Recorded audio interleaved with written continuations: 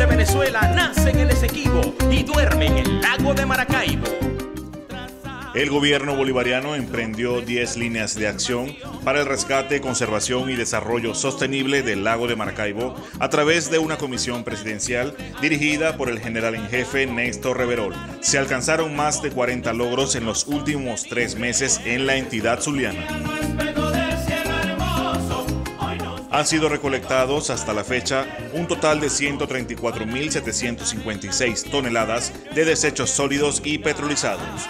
Además, se han sustituido 400 kilómetros de tuberías convencionales por flexibles.